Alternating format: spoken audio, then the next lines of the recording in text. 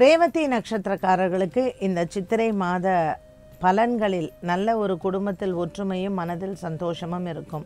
இருந்த போதிலும் குருவின் மாற்றத்திற்கு பிறகு ஏப்ரல் மாதம் இருபதாம் தேதிக்கு பிறகு குரு பகவான் ராகுவுடன் சூரியனுடன் சேர்ந்து குடும்பஸ்தானத்தில் அமர்ந்திருப்பதனால் சற்று குழந்தைகளிடத்தில் மனஸ்தாபங்கள் வரலாம்.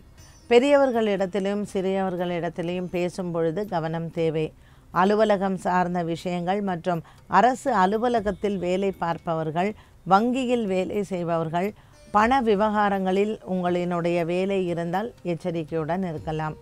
ஒரு சிலருக்கு வெளியூர் பிரயாணங்கள் மேற்கொள்ளக்கூடிய சூழ்நிலைகள் உருவாகும். ரேவதி நட்சத்திரக்காரர்கள் வெளியூர் பிரயாணங்கள் மேற்கொண்டால் உடைமைகளை பத்திரமாக பார்த்து கொள்ள வேண்டும். பெரியவர்களின் உடல் நலனில் கவனம் செலுத்தலாம். ஒரு சிலருக்கு மருத்துவ செலவுகள் வருவதற்கு வாய்ப்புகள் உண்டு. சித்ரா பௌர்ணமி அன்று சித்திரகுப்தனை வணங்குவதும் மற்றும் குலதெய்வத்தின் ஆலயத்திற்கு சென்று பொங்கல் வைத்து அதை அன்னதானமாக கொடுப்பதும் ரேவதி நட்சத்திரக்காரர்களுக்கு நல்ல பலன்களாக அமைகிறது.